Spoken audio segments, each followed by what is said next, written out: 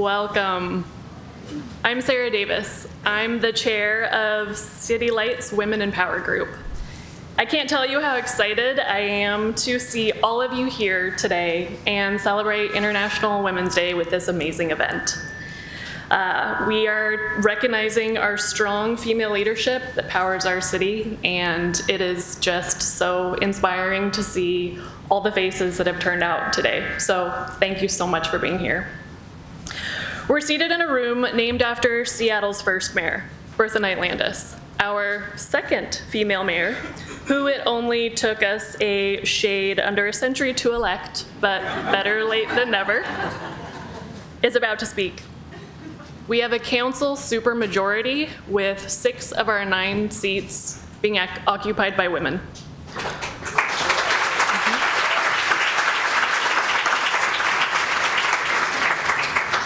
44% of our department heads are also women.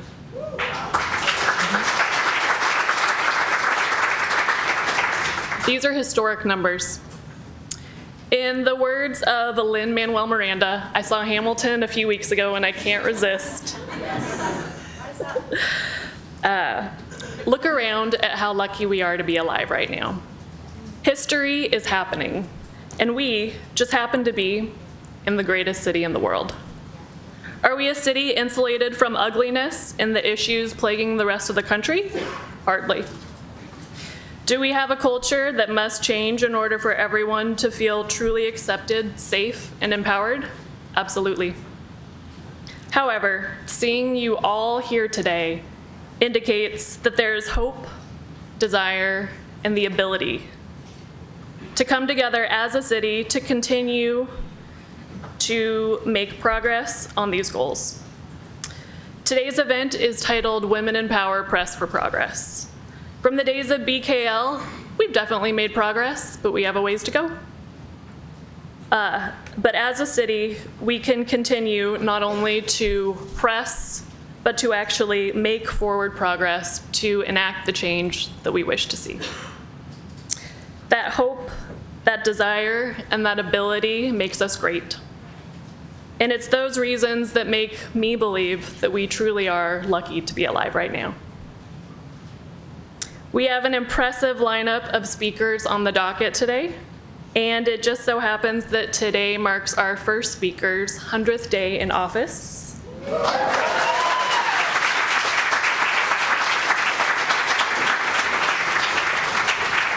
Which seems a very pleasant and fitting coincidence that it happens to fall on International Women's Day.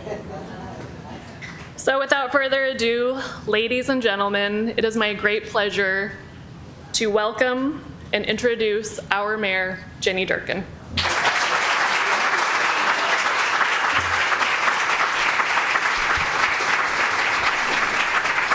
Sarah, thank you so much. Um, I just want to say what she said. Um, I also, I was fortunate I was able to see Hamilton last week too. And, you know, I went in thinking, I purposely not read about it, too much about it, although you can't avoid it, had not listened to the music because I thought, okay, I don't want to spoil it and maybe it's hype. Enraptured. Um, and the word I want to use is for International Women's Day, to steal from Hamilton, um, this is a movement, not a moment. Um, we are so lucky to be living in this city and in this time, but we also have to acknowledge where we came from.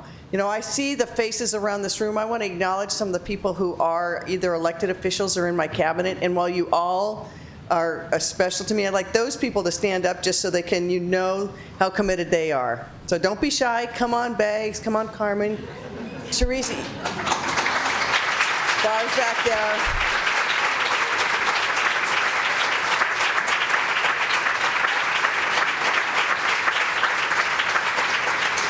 And Monica, you don't get away. Stand up.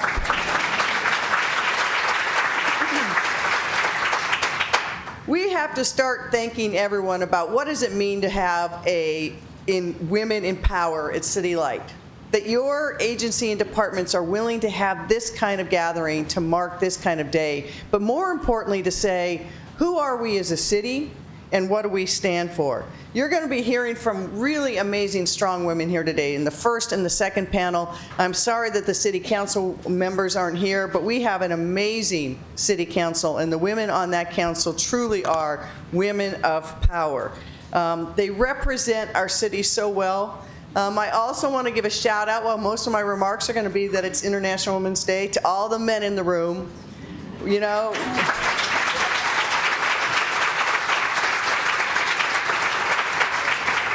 You know, I'm a proud mom of two sons, um, and I know that we all got to be here shoulder to shoulder together. I also do, though, want to address some words to, to the women and not just the women. We know we need to do better in the workplace in Seattle, not just at City Light, but in, in throughout the city. And I want to give you my word as mayor that we will work as hard as we can to make sure that everyone feels welcome and safe in their workplace. There's no reason at all that people should go to work where they're going to do the people's business and give of themselves that they can't feel entirely safe in their workplace. So I promise to you, we're going to work hard on that. Um, and thank you for your all the input you've given me as mayor. It doesn't feel like 100 days in many ways. It feels shorter, and in other ways, it feels like it's dog years. You know, every, every day is full. But I want you to know that. I also want to say for all the women and girls in Seattle, this is your day to remember that our voices, our vision, our persistence, our intelligence, and our brilliance has to be recognized every day in every way. Um, we talk a lot about what is a human right, and women have struggled for centuries, um, and the struggle still continues. We don't have equal pay. You know, I think it is not a coincidence that in a city as progressive as Seattle is, that that chair back there, which was Bertha Knight's chair, has sat empty for 92 years for a woman to fill it. You know, we can, it's not that there haven't been brilliant women in this city, creative women, dedicated women on the city council and throughout different places, but for many reasons, the power came together to exclude women from that dynamic. And that's why I think we all have to carry with us every day, not just what our own passions are, but how do we make sure that as we open doors for women, we are opening doors for everyone for everyone to make sure that whether it is race or gender or sexual preference, that when we kick that door open, we don't slam it shut for the people behind us who need that same thing. It's a continual struggle. It is something we have to keep in mind because we get busy, we get tired. Um, I'm not just the first woman in 92 years, I'm the first mom to have the job in 92 years. You know?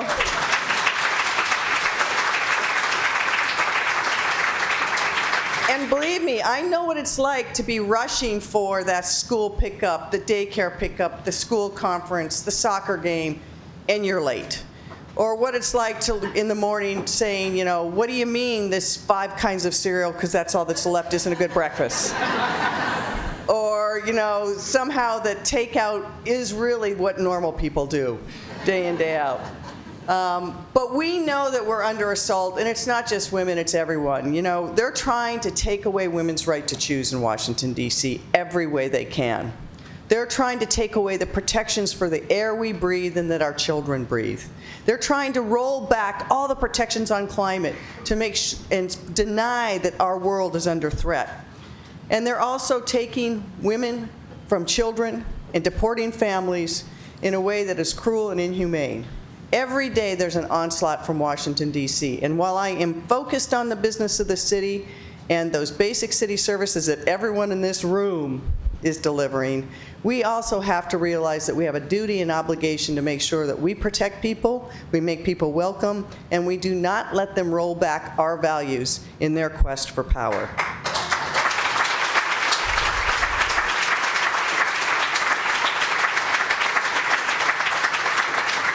So though it is just International Women's Day, we have to remember that the stand for liberty is never for just one gender or one group, one race. Um, it must be a stand for everyone. Because if we do not stand together for those values, certainly none of us will survive in the values that we want. So thank you very much for taking your time to be here. I, I think it is going to be a great day I know that we have to keep persisting in the workplace, but outside of the workplace. And just looking around this room at the tables of people I've seen, each of you bring not just to where you work your sense of what is right and wrong, you bring it back into your communities, your churches, your organizations you volunteer in. And so know that we value that because that is what makes our city the great city it is. So thank you most for your work. Celebrate all the sisters today on International Women's Day. And remember, we don't just get one day. All right, thanks so much.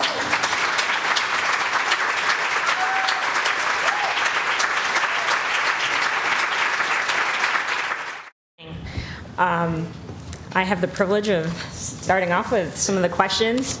Um, so our first question will be, uh, as leaders, we need to identify the support necessary for our ongoing success and often the support that enabled our journey. Could you please talk about your journey to your current position and comment on the support you received and its impact? Don't all go at once, or? I don't know. I'll jump in with a, a story about my support. And I look at how I arrived here today, and it was a lot of little incremental milestones.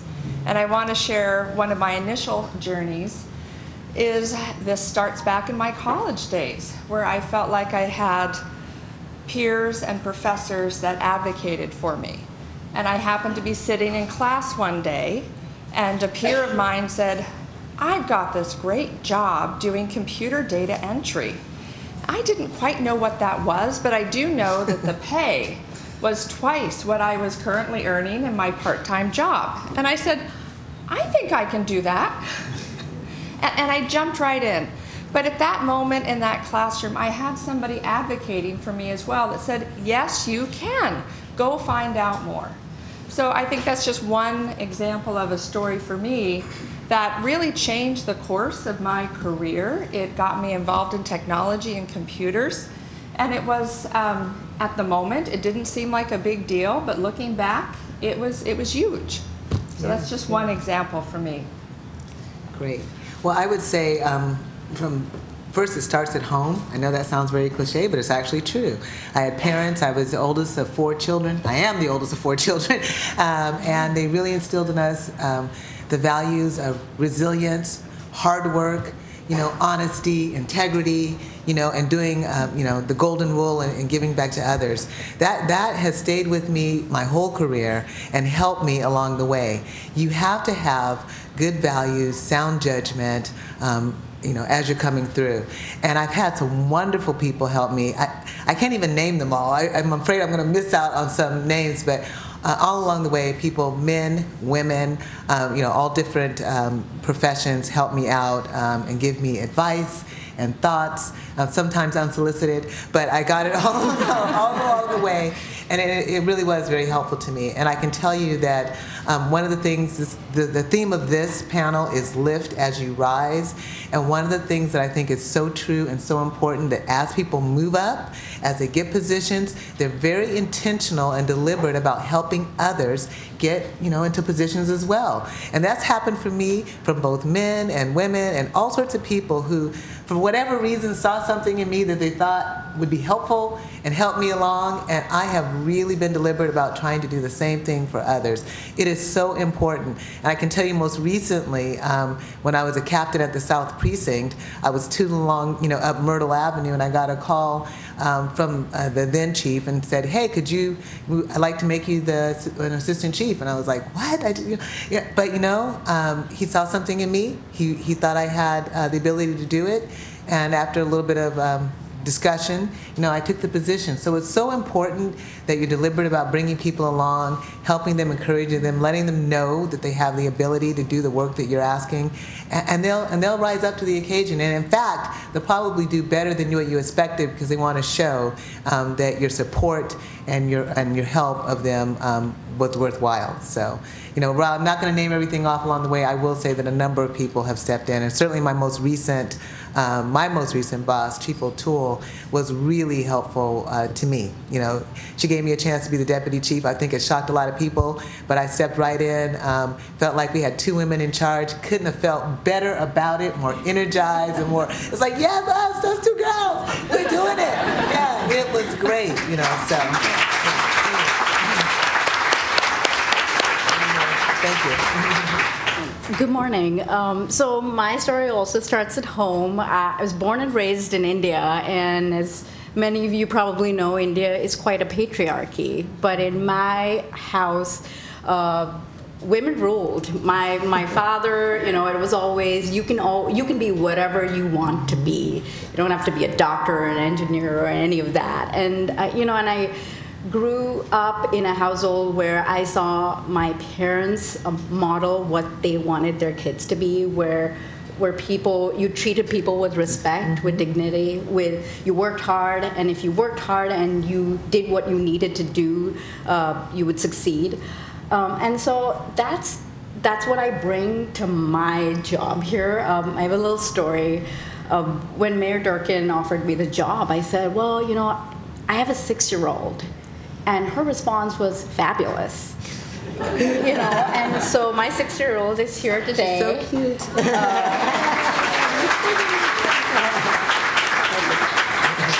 Because you know, I I try to live the life that I want my my daughter to see that you can be whatever you want to be, and so that's how. Great. Thank you for sharing that. Um, so the next, we'll move on. Um, there are often specific tools or methods as we as women use to help empower each other. One such tool is amplifying.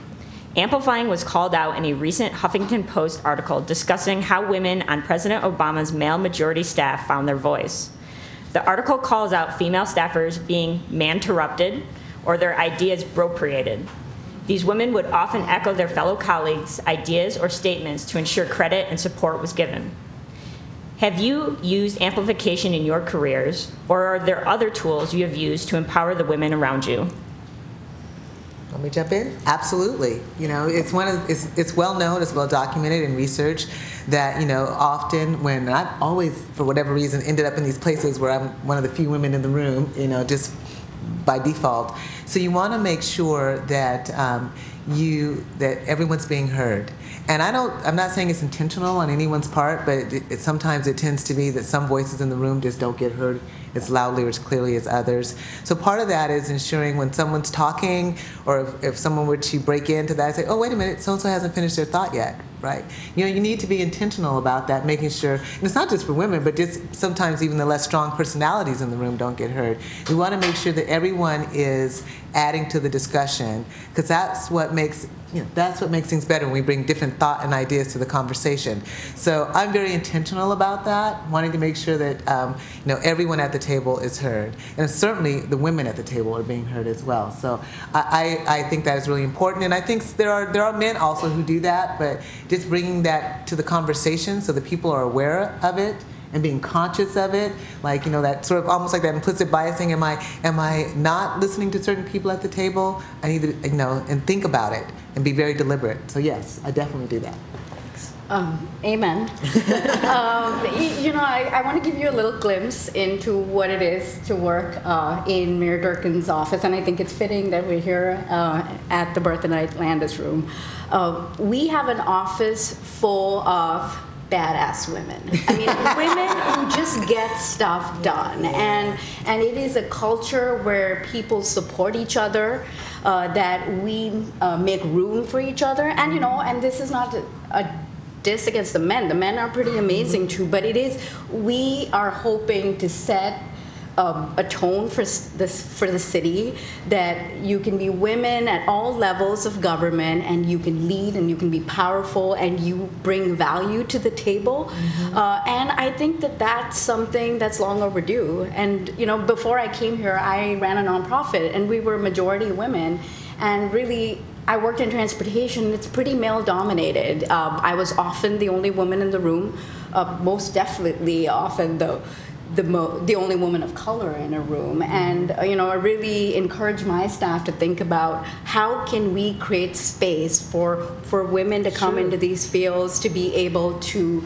uh, to to lift them up, but also I think to to recognize that we still have some ways to go before we can truly say that uh, that there's equality. Right, that's right. I wanted to mention as part of this conversation, when you're giving that space and you're listening, there's a follow-up component which is showing your appreciation. And so you can actually um, weave both elements into your discussions when you're facilitating.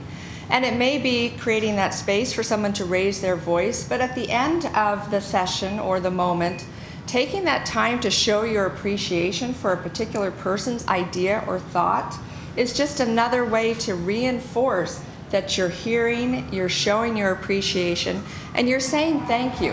And I think wrapping those things together is a great way to show support for anybody that's trying to broach a new idea or be heard. So I wanted to mention that that's another factor that I think is really important with this amplification is taking the time to show your appreciation when they have made the effort to share an idea.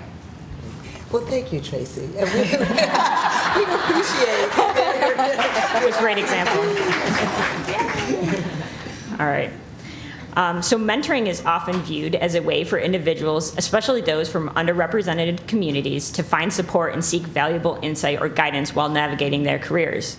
Have you had mentors in your careers, and can you speak to what made that relationship impactful for you? So I've had a lot of mentors um, in my life, and I think that uh, the trick is to to think of mentors as as as people that sometimes come into your life by accident or sometimes you've intentionally uh, sought them out. And i think i've had both of those uh, groups of people and they've been both men and women. And i think that uh, I, I enjoy mentoring young women and men. Uh, I think everyone has a little bit of a mentor in them. Uh, there is no set formula for what mentorship should look like. It is uh, being available to offer advice, to, to be a sounding board, and sometimes just be somebody who's just willing to listen, right? And I think that we can all do that in different ways. And uh, so I, I often challenge people who tell me, oh, no, you know, I think of mentors a certain way. It's like, no, it's somebody who listens and someone who offers a space to have a conversation. I would agree. I think mentoring is really important, and there's formal mentors and sort of informal mentors, and they're all different. I would say levels. I mean, you would be surprised how many you know officers uh, or you know that I talk to that help me make you know what I believe are good decisions, um, because you know you need to be talking to everybody and get everybody's perspective. And I also talk to people outside of you know Seattle, outside of this organization organization who are also in law enforcement, other women from other places in the country that can provide input and thought about what's happening happening there. So I'm really, you know, again, I use the word deliberate, but deliberate about, you know, finding formal mentors, but also informal mentors from different um, spaces and, and levels in the organization. I think it's really important for myself, and it's also important to mentor other people. Um, you know you know, humbly, you kind of think, well, why would somebody want to talk to me about anything? But, but you know, they, they do. They want to know kind of how you got to where you are, what things are important to you, uh, and it's important that we share that and have discussions. So, uh, if you if you aren't mentoring somebody in some capacity, I, I think it would be a good thing to try. Even um, even if it's just young people, doesn't necessarily have to be you know in your profession. I talk to young people all the time about different things and different aspects, and certainly trying to bring them into law enforcement. A lot of folks don't consider it, so I want to make sure that, that they look at it as an opportunity as well. So um, mentoring from both sides, either being mentored or providing mentorship, is very very important. So I certainly support that. One of the aspects that I've learned about mentorship is I kind of think of mentorship in the moment. It doesn't have to be a single person through your career, it could be many different sound bites. And the other thing that I have learned a lot being a parent is that sometimes your mentors are your children. That they are sound boards and they are completely honest with you. And sometimes that's what you need in a mentorship. So you have to be receptive of where you're receiving your mentorship and look for it in unexpected places. There's nothing like asking your kid, hey, I've got a technology presentation. Do you understand this? and you get wonderful advice. So I think you have to really embrace it from all different angles. And I have really appreciated when I've asked my children, my children's friends, and the young people how something resonates with them. That is very telling for me. Great. Great. Okay. So uh, this year, the theme for International Women's Day is Press for Progress. Can you please comment on what progress does and should look like in each of your departments? Oh. Well, how much time do we have? I thought this was like a time thing. well, I'll, you know, I can start if that's okay. So, you know, there are so many different things that we're looking at, um, you know, in, in policing in general. One thing, I, the way I always like to start is that policing is not what you see on TV. It's not all car chases and gunfights and people repelling off buildings. You know, what we do is a service. I mean, by and large, day in, day out, it is service. We see people in some really vulnerable, at that moment, uh, really vulnerable uh, situations. And we often are providing um, outreach to them in some ways, providing some relief to them in some ways, you know, helping them, sometimes the suspects or victims right? So it is it is really about service. It is actually, um, by and large, what we do. And so I start out by saying, you know, progress means that we're able to provide service to people in a way that um, they feel included and, and respected, and they feel equity. And we know we have some work to do on, on those lines. And I started. Um, my time, you know, as the interim chief, uh, just talking about the five priorities that we're going to have at the department, and the, one of the first ones was excellence in service. You know, that's that's what we need to do. We need to provide service to the community that we serve, uh, and do so in a way that we're trying to be as excellent as possible, uh, along with fighting crime and using data and all those other things, and really making sure that people feel connected to um, what we do. You know, we're just people. We need to humanize ourselves. I think when people start seeing the police is not the police over there, but they're the police. They're just people. They're moms, their dads, their sisters, their brothers, their cousins. The, the uniform it really just identifies us so that we can be seen and known when we're in the room.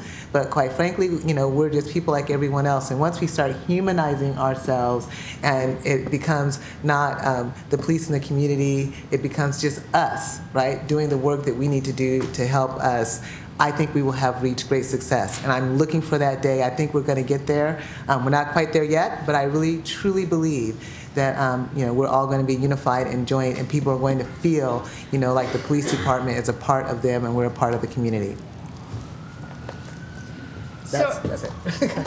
Hey, so in the technology world, what I would hope in the future for the department is that when we are building our workforce, that it doesn't matter what walk of life you've come from, what sex you are, that you feel like this is an area that you want to be a part of, and that we provide those opportunities and we provide growth for all of our employees going forward.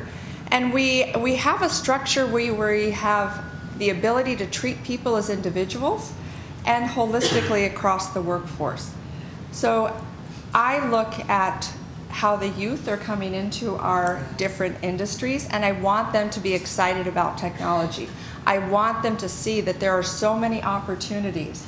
And I'd like the perception of, I think when you talk about technology, you think of somebody hunched over a computer, um, really isolated. And what I would like is for us to be embraced as an organization that is a part of many great things that are happening across the city. And we're not an island, but we are serving our customers. Mm-hmm. And an individual coming into our workforce sees how valued they are as part of our bigger community, and that we are much more than a series of zeros and ones in a technology that we are helping to make great things happen. Oh, Can I add something? Because you triggered Yeah. something in me with your comments. Tra- Thank you, Tracye. Yeah. triggered something with Thank your you.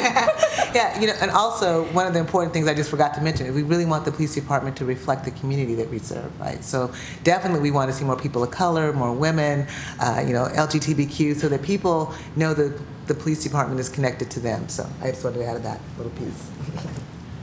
So, um, from the mayor's office perspective, I mean, Mayor Durkan outlined her vision for a vibrant, inclusive, and affordable city, right? And I think that um, Seattle is at crossroads. Uh, we are in, experiencing incredible prosperity, but we're also seeing incredible disparity. And I think that uh, this is going to be our greatest challenge is how do we create a community where everyone can thrive um, and how do we as a city be a force for progress? Uh, how can we you know i i came from outside city government and in my short time here i have been amazed by how dedicated city employees are. People come here to do good, to to make a difference in people's lives, and how can we continue to do that, do that better, uh, make sure that we're reaching more people?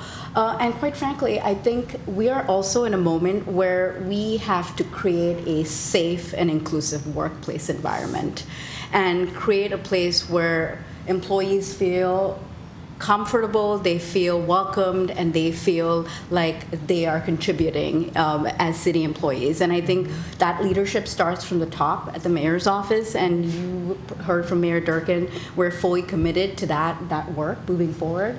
Uh, but I think that you know. It's going to take all of us. I think there's no magic bullet, and I think that these are, yeah, these are sticky, um, enduring problems and i think that we have to really think of ourselves as a city that is is creative that is thinking outside the box and really using the skills that we bring to the table in ways that can help solve uh, our community's greatest challenges. Okay, so next question, you guys have sort of touched on a little bit of this, but, um, so professional development is an essential part of anyone's career. What role does professional development play in the press for progress? Am I going to go? Okay, I'll just start. So, um, well, it's really important that um, you start thinking about those things, that you just don't fall into it. So, uh, we worked really hard in, in the Seattle Police Department, continue to uh, really work on professional development. I would love to take credit and say that it started with me, but it actually started with um, the former chief, but I am definitely continuing that on. We have uh, mid-level managers training. We have, um, we want to make sure people are involved in Leadership Tomorrow, Seattle, the uh, mentorship program, the um, Senior Management Institute for, for Police, the FBI National, all the things that help you build up your knowledge about the profession. You get to interact and network with other people, um, and also help build education for folks uh, out there. We make we're very very intentional about it. We're working with our um, I'm going to throw his name out there. Mike Fields, who's our HR director, has done an amazing job about being very deliberate about ensuring that we are including not only officers but civilians too. You know, sometimes the civilian part of our organization doesn't get as much attention, but we have uh, almost 600 civilian employees who don't wear a uniform and come in every day. And we want to make sure that we're being inclusive, we're including them, and we're being very deliberate about ensuring that they are um, able to be successful and advance and have the right. Um, you know, re- resume, if you will, but basically the right education to do the job well. And I think that's very important. People feel, even if they don't advance, they just feel better about themselves because they do more and they know more, right? And they're just better at working um, when, when we pro- provide them those opportunities. So I think that's very important.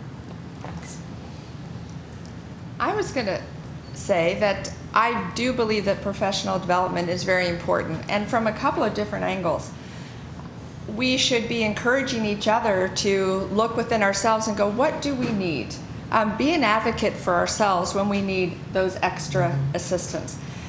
From a management perspective, you want to be a facilitator for those. And what we want to do is not have this happen accidentally, but on purpose. And so, making steps in our organizations to help people grow professionally and to have them advocate for themselves in some cases and have management also assist with that journey.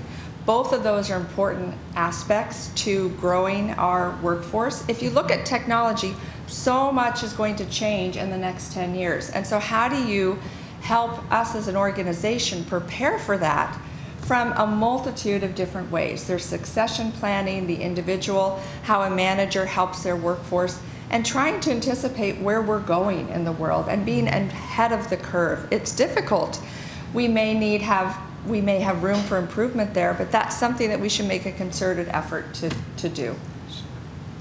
Really quickly, I think we just need to foster a culture of learning, and that's professional development, but that's also more than that. It is learning from each other.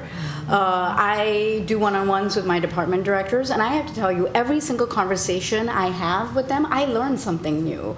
So I think there's that, and then there is creating a space or a culture where it's okay to fail. I think for for women in particular, uh, the the fear of failure is intense. I mean, we're constantly worried. We're working twice as hard to show that we're we're good enough, and I think that we have to, as women in leadership, we have an opportunity to to help break that cycle. That it's okay to fail. That it's okay to admit that you don't know it's okay to ask questions because I think that's when you really learn, and that's really something that I'm hoping that, particularly with the people I work with, is how do we foster that culture of learning and failure, and fail- failure can be okay sometimes.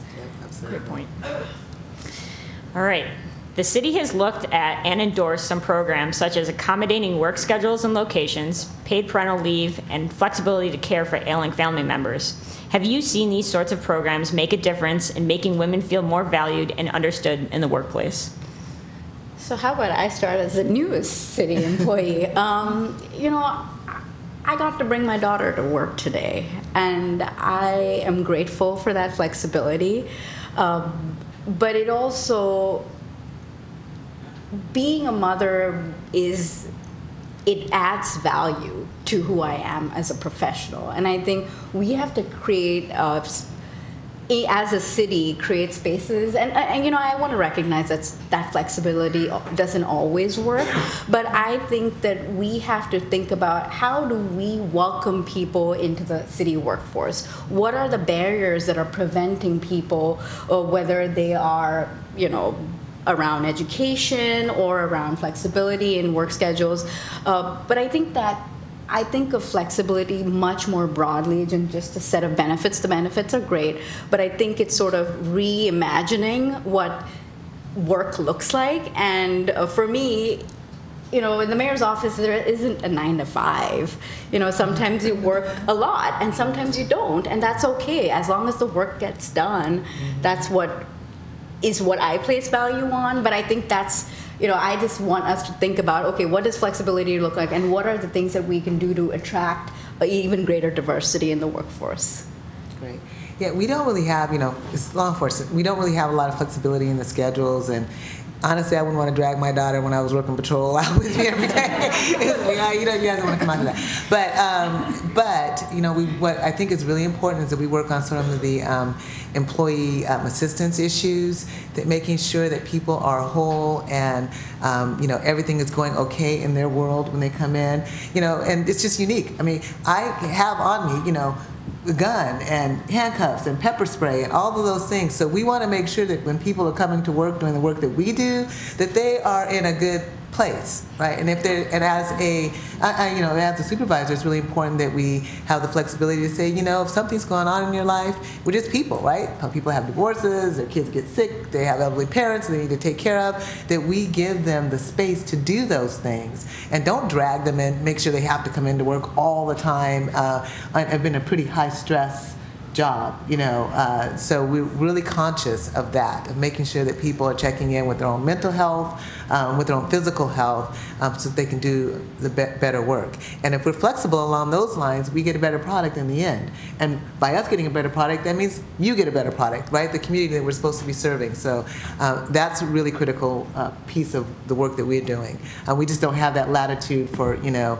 coming in. Flexible shifts isn't, you know, usually one of the things we can do, but there are a whole host of other things that we can do to make sure our employees are, you know, safe and whole at work. And we're working really hard to make sure we do it.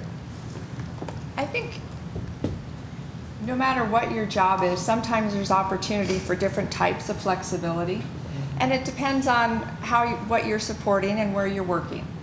What I think the challenge is is we need to look at how we help the individual because what works for one person doesn't work for another.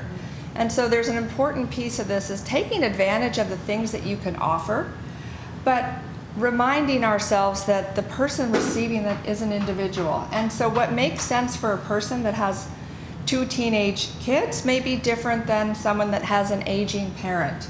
But showing that you're treating them as an individual in this circumstance and helping them through whatever avenues are appropriate for them to explore is an important piece of this. And so my message is make sure that we understand that flexibility is germane to the individual and don't lose sight of that. Thank you. Okay, so wrapping up, keep an eye on the time. um, reflecting on your career, what would you tell the newly graduating or the initially employed versions of yourself? Oh, wow. What would I say? I'll go. Yeah, go ahead. um, take chances. Um, my young, um, unencumbered self, I, you know, I think that too often we're we're scared to take risks, and um, you know. I, I don't have any regrets, and actually, I have a notebook that says I regret nothing, which, which is. But I think that it is take chances, is take risks, uh, particularly professionally, because I think it is harder to do it as you get further along in your professional career, and uh, you know, and I think that that's something that we could use a little bit more of, is a little bit more spontaneity.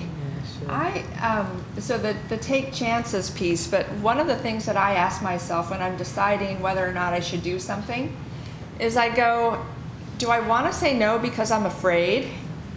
And if that's the only reason that I want to say no, I, I say that's not a good excuse, Tracye. you're you're going to go do it because if the only reason I'm saying no is because I'm afraid, that's a deal that I've struck in with myself that that's not going to be who I'm going to be. The, the other story that I want to share is sometimes hearing no is a very powerful piece of moving forward. And one of the things that this was long ago, but I was interviewing for different positions. And I happened to have a question to the person that was interviewing me, and I said, What are the career paths going forward? If I land this position, where can I go from here? And the person responded to me and said, Well, that's my job, and you can't have it. so I told myself, You know what? No, I can tell right now that that's not the job for me. I have a desire to move forward. And so, looking back to my younger self, I think it was an important message to that person to say, you know what? Ask for what you want, have the confidence to ask those questions, and if it's not a good fit, be okay and say, no, this Right. isn't where I want to go. Great. Yeah, when I think of my younger self, I was probably, you know, I was pretty confident actually. I told you, told you what my background was. Like, you know, we were pretty confident. But if I was giving advice to young people coming in, uh, what, and sometimes I do, it's like just you know, risk taking is good, but also being resilient. You are going to fail at something. It's okay, you know, to to try something. Maybe it's not for you. Maybe you don't make it the first time, but um, it's okay to do that. And I, am going back. I'm harkening back to what comments were made earlier by our deputy mayor. But you know, sometimes you do you have that feeling that you're afraid to fail. You don't want people to think you can't do it. You know, you got you got to get past that. You have to have confidence in yourself. Be okay with being resilient. That's what resilience is about. Not everything is going to work out 100% every time. That's okay. Uh, this is your opportunity to figure out what it is and, and move forward. So that's um, that's the advice I would pass on to my younger self. Yeah. All right. So, uh, last question. Are there any imparting ideas as we close that offer what it means to be a female employee at the City of Seattle and what we must do to answer the national calling for progress? Say that one more time so I make sure. Sure. Right. Are there any imparting ideas as we close that offer what it means to be a female employee at the City of Seattle and what we must do to answer the national calling for progress? Well, it's International Women's Day. You know, I mean, you know, one of the things that I would say, obviously, is that this city has done a really good job. We got some work to do, but really good job of making sure that women are in leadership positions and continuing on and. Um, you know, doing the work that needs to be done. And I want to go back just to make sure I hit the right point. So, parting thoughts about what we need to do to make, to just, I, I go back to being resilient, being confident, networking, lifting each other. That is the whole point of this um, this discussion is talking about lifting each other up as we rise and being very deliberate and intentional about it. Making sure that everyone at the table has a voice at the table. You know, male, female, black, white, gay, straight, Catholic, Protestant, whatever. Everybody gets to to contribute and feel a part of the larger organization because not everybody gets to be at the top that's just there's only so much space there but that doesn't mean that your effort your energy um, isn't contributing to the success of the city you know the community that we're here for. So i would that would be my parting thought. Make sure that you're giving and, and that you're contributing. When you mention those ideas about how we move things ahead, one of the things that comes to mind is not only do you look at what you have at the city, but what can you do outside of your city domain? And for me, it's all about that next generation. And part of this, because I'm a mother and I see my kids moving through their lives and wondering what can I do to help them be successful and be something that makes the community that you live in a better place. And so for me, it's not only what can you do within the city, but what can you do at home? How do you encourage those school systems, internships, that youth that is coming into our city as potential employees? How do you make them successful? And, you know, personally, that's being the best parent that I can for my children, being involved in the community and schools in the area. Those are all avenues that I pursue that I think will make the city a better place and the city of Seattle a better employment area. So two things. One, a funny story. Um, so this morning, as we were getting ready, um, my daughter was playing a little game with her pink unicorn, and uh, her pink unicorn was the mayor, and she was having a conversation with the mayor, the pink unicorn, and she was just talking about, you know, kind of. I want to fix the city. Just you know, just I guess what she hears her mom talking about. But anyway, I think that the the nugget that I got in that was was that every day we have an influence on someone, right? And so my daughter is growing up uh, with this impression of okay, you know, it's I can be a strong, independent woman, and and that's a strength for me. I think for women, the greatest strength that we bring to our jobs is empathy. Um, sometimes that's seen as a weakness, but I actually say own it. It's what makes you do your job better. Uh, it makes you. Uh, get the best out of your uh, your employees, your your friends, your partners, and I think that uh, that's what I would say would be my parting uh, advice: is own your empathy because I think it's the it's the piece that's unique to you, uh, and I think it's the part that allows us to remember that this is more than a job. This is about people, and that uh, that we can relate in different ways, and also bring something to the table. To be six years old and have a pink unicorn again wouldn't that be great so cute Great. So um, I'd like to go ahead and open it up for the questions that you guys have for the panel. So anyone All right, coming over there. oh they're coming like that's right The Donovan approach. Jessica.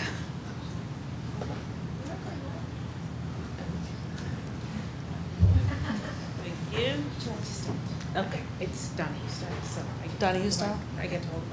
Hi, uh, my name is Shay. I work with Fleets. Um, and I have, a, you had mentioned people throughout your life saying, yes, you can, and, and, and giving you opportunities. Um, when I told my dad I was going to quit pre law to become a mechanic, he's like, no, you will not.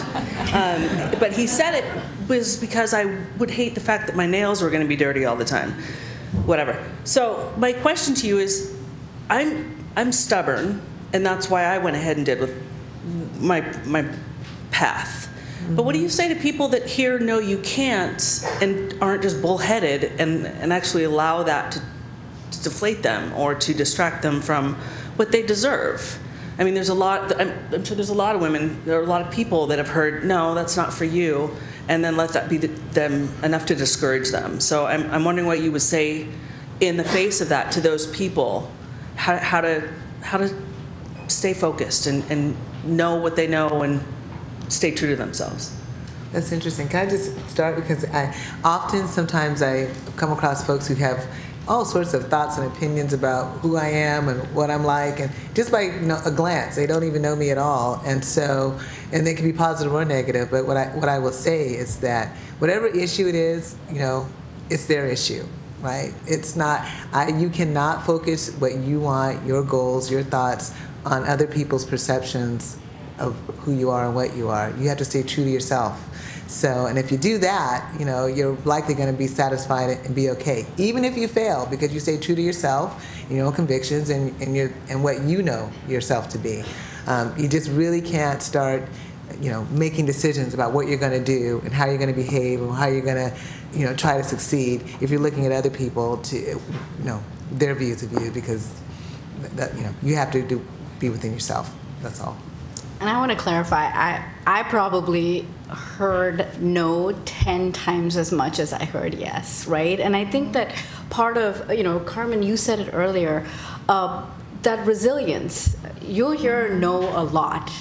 No, you're not good enough. No, you can't. Uh, I think the resilience and being true to what you know who you are uh, i think that's important is because i think it's easy to for self-doubt right if you hear no enough times it's like well wow maybe i don't maybe i can't do that and i think uh, it's find your north star find the thing that grounds you that that is true to who you are and and that when you hear no, I think that's where you draw from that well and say, okay, well, this is what I know to be true. And I think that it doesn't always work. And so I, I also want to be realistic about that, right? Right. Uh, but I also think that it, it, to your point, people will say people have opinions and thoughts, and at the end of the day, it's, it's what you know to be true.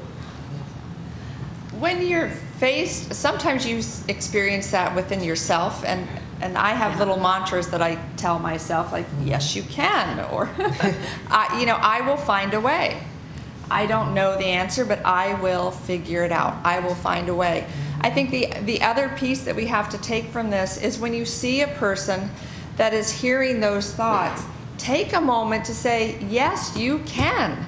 And you have to be repeated a lot because if somebody's experiencing self doubt, the one thing that we can do to help each other is to say, you know what, stop. You are great. You've got this. You can do this. And over and over again. And sometimes just that repetition, but you've really got to take a moment and motivate somebody. And if you've got that internal voice to yourself, you can share it with your friends and family and help them be successful as well. But I think just taking the time to resist the don't wallow in your own despair. If somebody says no, say, yes, I can, and help those that are hearing that same message to overcome that resistance. Sure. Other questions? Uh, hi, I'm Jessica Coleman from City Light. I'm an electrical, engineer. Um, kind of going off that same question, um, you've talked a lot about helping other people and giving other people space, but what's your best tactic for when you're at the table and you're not getting that space? And for Michelle also, the panel and Michelle. Um, I am never shy about speaking up. I mean, I'm pretty small, like in size. Usually, I'm the smallest person in the room. I think that um, you know my best tactic is to uh, is to speak up when I have something to offer. I think this is sort of the reverse tactic of, you know, people who are always talking is, you know, because sometimes you'll find that that you know when you can add something to a conversation uh, you'll find that people will start gravitating towards that piece of like because you don't speak you're not the person that's speaking all the time but when you speak it's it's valuable. And so i try to sort of balance that of like okay but you know i'm also never shy to speak up uh, even if i'm the only contrary voice on something. And I, it's not easy Yeah. uh, and sometimes I'm always sort of like, should I say that? Should I say that? But then, you know, to my mantra of have no regrets, like I don't want to walk out of a room and you know think to myself, oh boy, I should have made that. I should have spoken up when. Yeah, I, I, you know, reclaiming my time. That's that's, that's me. It's like so, I, you know, if they're not giving you that space, sometimes you need to, you know, take a little bit of that space. That's not always the right way to do things, but if you feel like you're being marginalized or or set out, I'm sorry, this is. If you feel you're being marginalized or set out uh, or set aside because of, you know, people are choosing not to hear you, then that's your time to, you know, decide is this the right place for me to be or do I need to speak up? You know, I usually err on the side of that's your that's your opportunity to speak up and, and you know make yourself known. Not being obtuse, but you know making sure that it's very clear that you know you're a part of the discussion.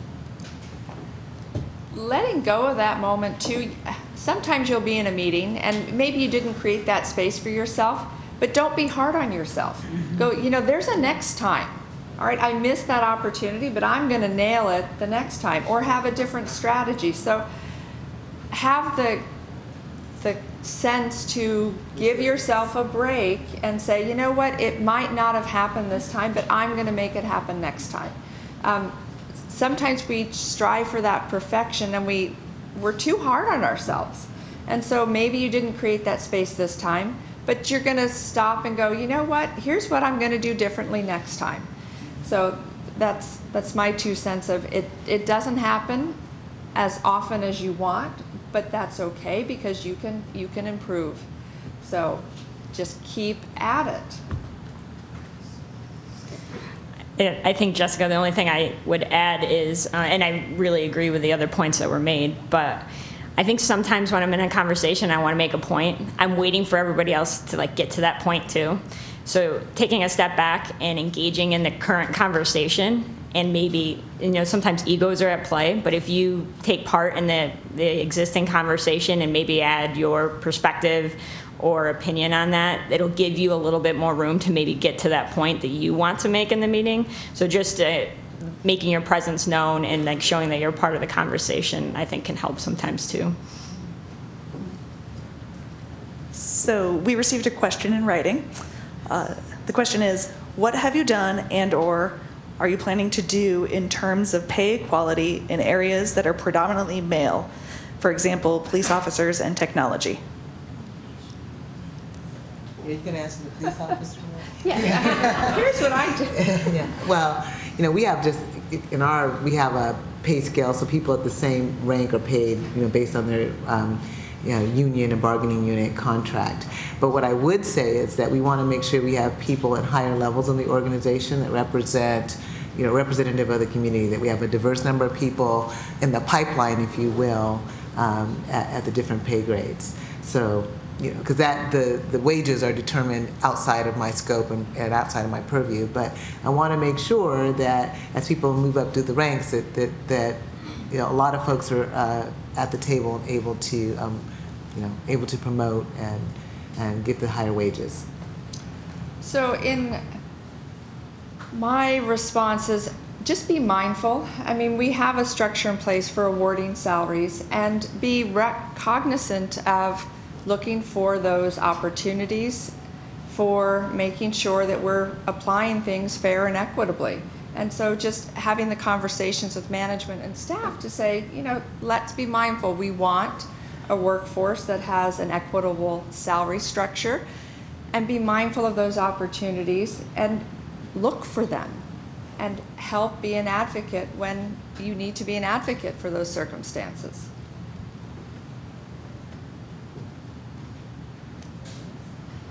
Hi, my name's Nicole.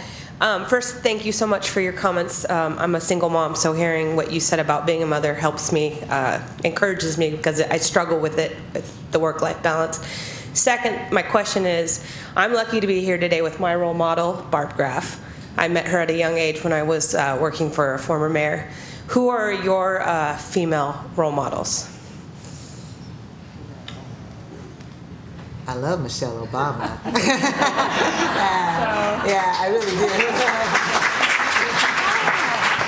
um, you know, and obviously I love uh, Chief O'Toole for promoting me and encouraging me and giving me a vast amount of opportunities.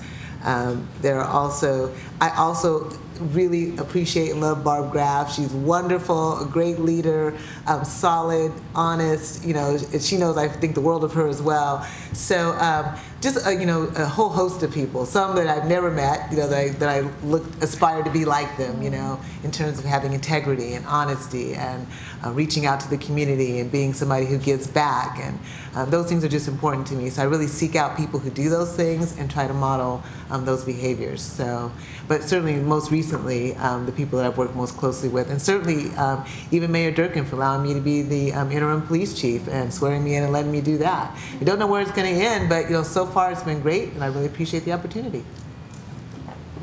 I have to use a cliche answer here, but I'm looking at my mother as a role model, and I grew up with two younger brothers. I never felt like I was any different. I always felt like I was given all the opportunity that any one of my brothers had, and that instilled something in me that is with me till today. And I want my children to feel like they've got an equal opportunity, no matter what direction they want to go to.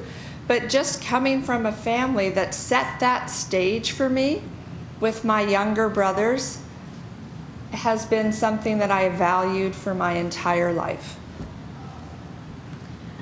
Uh, personally, for me, uh, it, it's my two grandmothers. Um, I grew up with uh, spending a lot of time with them. And uh, one of my grandmothers was the first woman to to get a PhD in her state uh, in English literature, and you know, and I just, you know, that was the you can be what you want to be. And for my other grandmother, it was just a sense of resilience and spirit and can do attitude. There was nothing that could ever sort of stop her from from uh, from doing what she wanted to do and she she was a real strong role model for us and really was work hard i mean you know don't expect anything to be given to you work hard for it uh, I think professionally, this is not a cliche because I get to work with her every day. Uh, working with Mayor Durkan is very exciting. Uh, she is tough but fair. Uh, she works hard. I mean, she walks. She goes home with with reading materials this thick, and next morning she's back and she's made notes and she's read all of it. She asks great questions, and you know, and I think that that's modeling that work ethic of being fair, compassionate, respectful is something that I think we could use more of, and uh, it's what I would like to do in my role. But uh, yeah, it's someone I work with. Um, yeah, sorry, I wasn't invited to this one, but I'll, I'll speak up. um, I think I have two different uh, female role models that I would speak to throughout my career. Uh, the first one is probably a little bit more obvious. It's a professional role model, but uh, when I was in the service, because some of those of you that know me, that I was in the Army for a bit of time in my career, and there was a, a woman who was two grades above me that I just really thought the world of. And the thing that I find interesting when we talk about um, mentors or role models, she was very, she had a very different leadership style than I had, and I was just completely drawn to that. I just couldn't believe the success that she had had that and her approach was just so different from mine.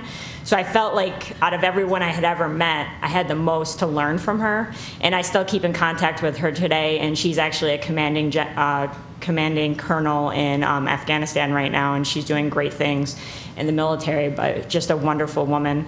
And the second would also be my grandmother. And again, it's a kind of common theme, although not on the professional level, but my grandmother was a salutatorian of her nursing class and then went on to be a stay-at-home mom for her four kids. And I learned so much from her. She was dedicated to um, professional development. She read so many books, watched the news, was up on every single talking point that you could come home after school with.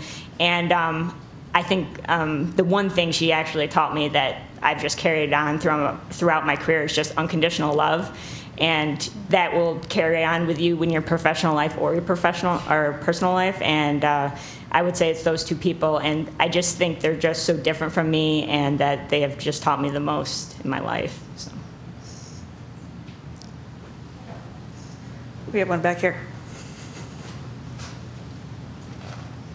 Hi, uh, my name is Hillary. I work in the Department of Neighborhoods, and my question for you um, is: For many years, we've had a cultural conversation about how women should talk in the workforce, and often the message is that we should learn to talk more like men. Um, in other words, be more assertive, be more blindly confident. So, what would you? Uh, so, what would you say to the idea that instead of encouraging women to talk more like men, that we should encourage men to talk more like women, um, with more collaboration, with more inviting other people to speak, et cetera? I, you know, I just think being inclusive means take, you know, just meeting people where they are.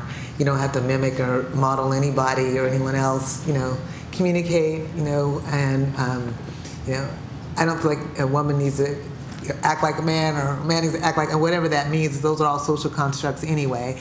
But um, you know, so I would say this: be who you are. You know, be resilient uh, work hard. As I think that's a common theme for everybody up here. They work hard, they believe in themselves, um, and, and that you'll be fine. Um, and not you don't need to model any sort of um, you know gender construct that's out there. I certainly haven't tried to do that. Just I'm just me, right? And then you know, this, and this is a job that I do. So um, that's how I would approach it. And I'm sure there's other thoughts here. I think you take the, the best, you know, and so if sharing empathy in a conversation is what you need to do to help be inclusive and saying that you're confident and assertive, those are all good elements to weave in. So take the best of people's general disposition and apply it to your conversation. What they said. I, I just want to add something to this comment just because um, I've seen it play out in my my whole career is just that I think you need to, regardless of what you're trying to get more people to act like or be like, I think you really need to directly communicate with those that you work with and like we look across the room should hold all each of you accountable as peers as you know colleagues and just let people know how their messaging lands on you. I've had people say some pretty weird things to me that I'm I walk away and I usually talk it over with my partner and I return and I'm just like I'm not really sure you know how that sounds to somebody else when you said it. So I'm going to let you know how that sounded. And I think if we do that more for each other, we'll get better and other people will get better too, but I think it's really important that we do it.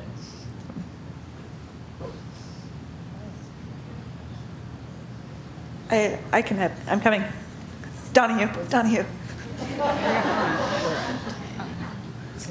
Hello, I'm uh, Emily Burns. I work with um, Seattle Department of Transportation. Um, I guess first off, I want to thank you so much for being part of such an inspirational panel. It's um, pretty amazing, you know, to sort of step back. I have a long-standing career with the city, and just hear about hearing about your different experiences is, is, is very, very valuable. I wanted to um, sort of pose this question in the um, kind of the context of retention of employees and um, sort of how do you as leaders encourage that collaboration? How do you encourage the people that are working with you and then in other departments to build and collaborate so that you're um, you're reaching your visions your your goals your, your objectives of the things you're trying to meet? You're probably building performance measures and different things that you're you're measuring about whether something worked or didn't work how how do you work as a leader to sort of tier that tier that all the way down um, through the levels of folks that are working for you and with you?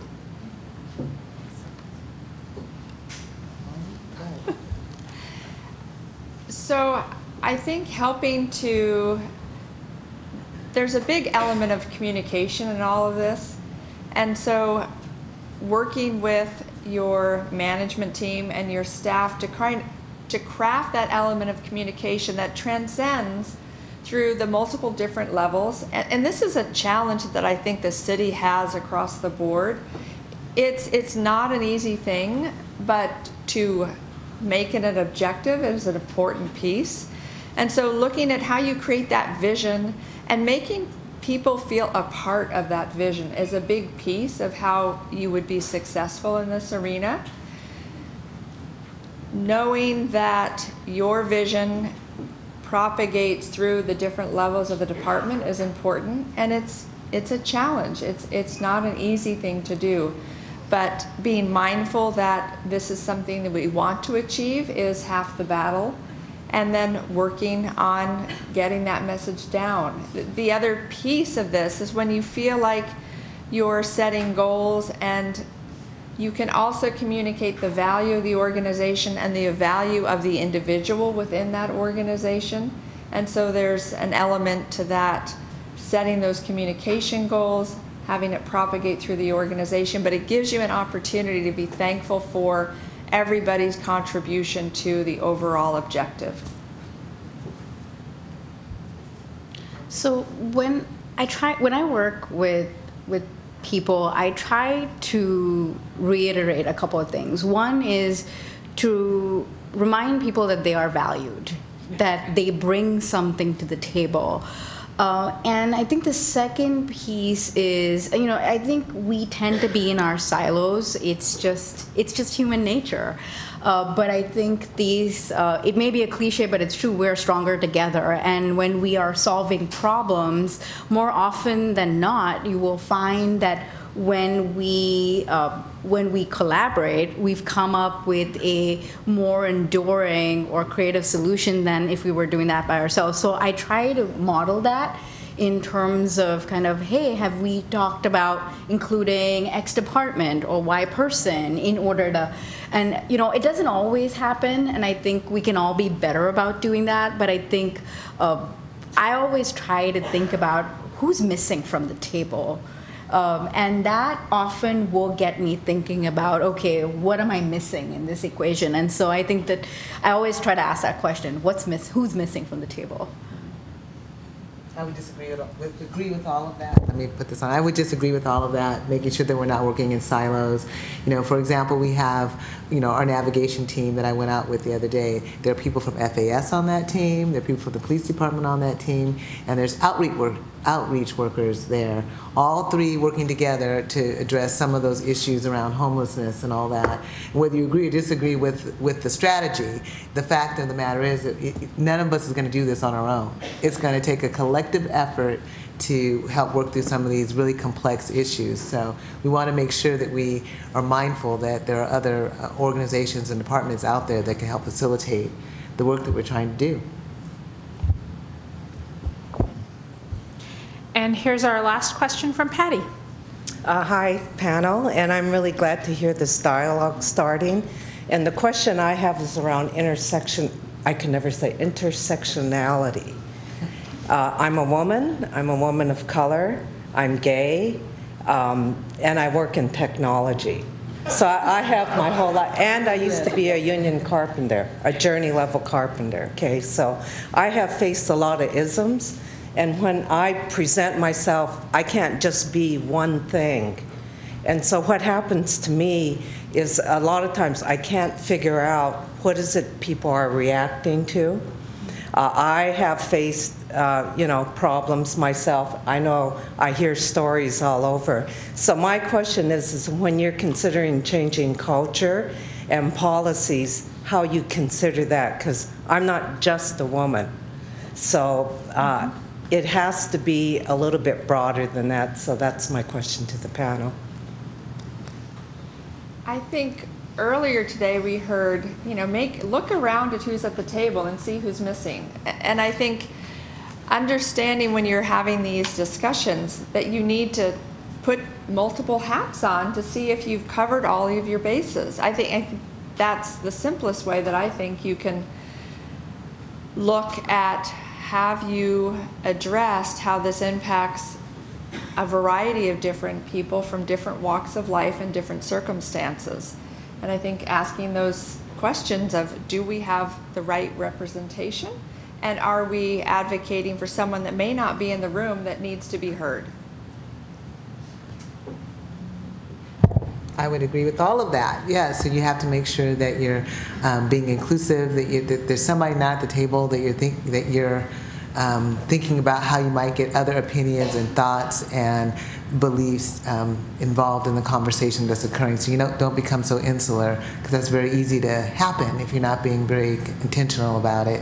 And then um, from the individual perspective, I said this earlier, but you know, you know, you don't know. Like you said, you don't know if they're if, are they saying that to me because I'm X or why are they looking at me because you.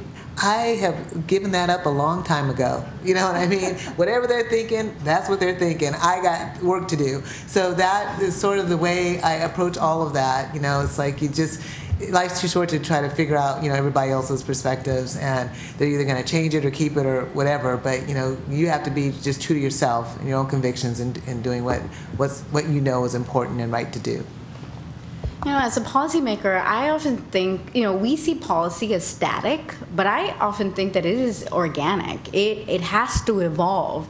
And, uh, you know, recognizing that we won't always get it right.